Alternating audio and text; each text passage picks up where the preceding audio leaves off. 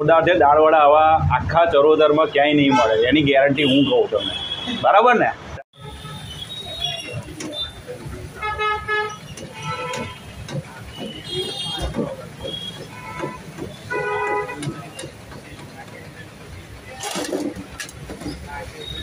My name is Mehul અમે લોકો વર્ષોથી આ જગ્યાએ જ્યારે બી ફ્રી પડીએ, યા તો પછી જ્યારે આણંદનો આમ ધક્કો હોય, એ ટાઈમે અમે લોકો અહીંયા નાસ્તો કરીએ જ છીએ. બહુ ફેમસ છે. તો કેમ છો મિત્રો? આપણે ચરોતરની મોજ સાથે ફરી આણંદની અંદર આવી ગયા છે. આણંદ એટલે કહેવાય ને કે મેઇન સિટી કહેવાની, કહેવામાં આવે ચરોતરની અંદર. તો જે ચરોતરની વાત આવે તો આપણે ભજીયાની વાત આવે. અને ભજીયામાં તમને કહ્યું એ જ રીતે કે ગલીએ ગલીએ ભજીયા તો મળે જ છે, પણ અલગ અલગ જગ્યાએ અલગ અલગ સ્વાદ આપણને મળતો જ હોય છે. તો આજે આપણે આવ્યા છે વર્ષો જૂના. કેવું કે ત્રીજી પેઢી અત્યારે ચાલી રહી છે. અને ત્રીજી પેઢીથી આ બિઝનેસ છે એમનો ઘણા બધા વર્ષોથી. ભજીયાનો ટેસ્ટ ગામડી વડ કહેવામાં આવે. તમે જે રીતે મને કોમેન્ટમાં કહ્યું હતું, એ જ રીતે આપણે આ જગ્યા ઉપર આવ્યા છીએ આજે. અને અહીંયા દાળવડા બહુ ફેમસ છે એમના. એ આજે હું તમને ટેસ્ટ કરાવવાનું તો આવી જાઓ મારી સાથે, હું ફરીથી તમને આજે મોજ કરાવી દઉં.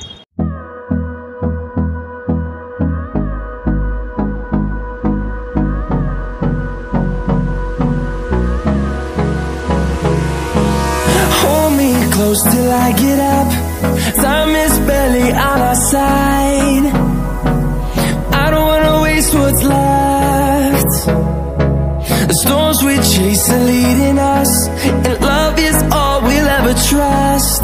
Yeah, no, I don't wanna waste what's left. And on and on we'll go Through the wastelands, through the highways Till my shadow turns to sun rays And on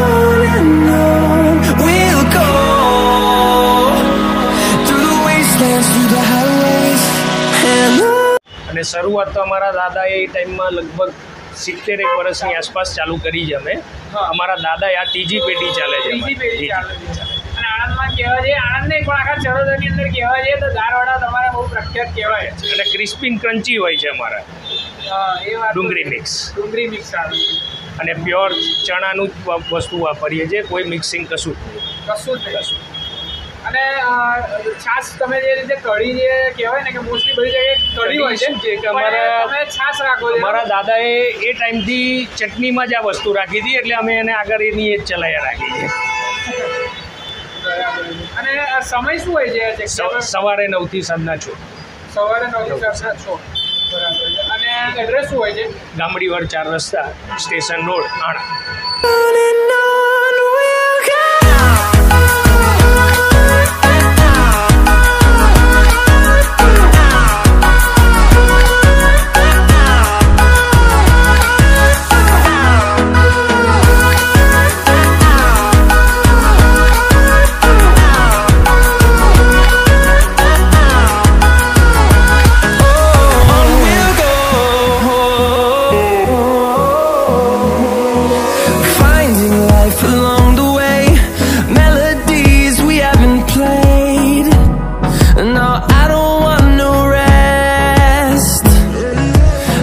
જગ્યાએ આપણે મિત્રો જોવા જઈએ ને, તો તમે જોઈ રહ્યા છો કે જે ભજીયા મૂકતા ને, તે થોડું બ્લેકિશ થઈ ગયું છે. કારણ કે તેલના લીધે પણ આ જગ્યા એકદી ચોખ્ખાઈ છે.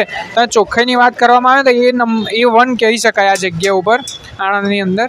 તમે જોઈ રહ્યા છો, એકદમ ચોખ્ખું અને ભજીયા જે રીતે મૂકેલા છે તો મિત્રો, આપણી સાથે આવી ગયા છે કહેવાય ને કે આણંદની અંદર ગામડી વડના ભજીયા ગામડી વડના જે ગોટા કહેવામાં આવે છે, જે દારવડા, જે વર્ષોથી બહુ જ ફેમસ છે.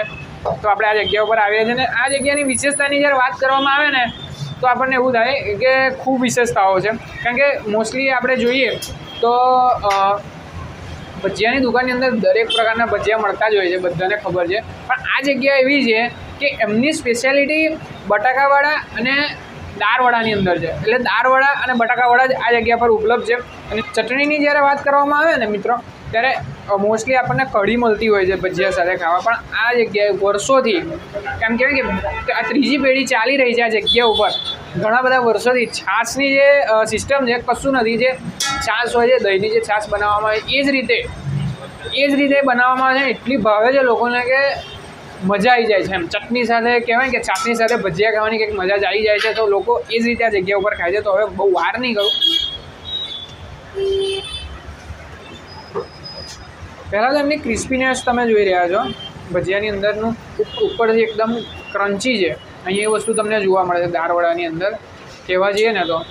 અને હવે આપણે બહુ વાર નહીં કરીએ ને સીધું.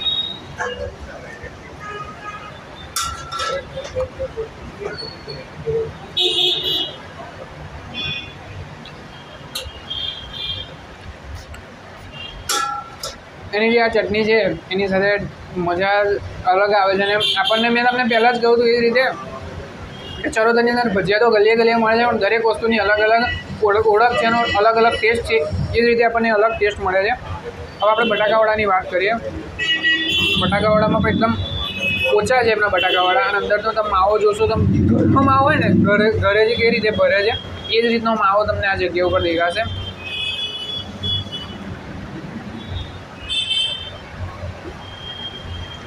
અને બટાકાવાળાની પણ જો વાત કરીએ ને, ટેસ્ટની અંદર તો મસાલાથી ભરપૂર છે.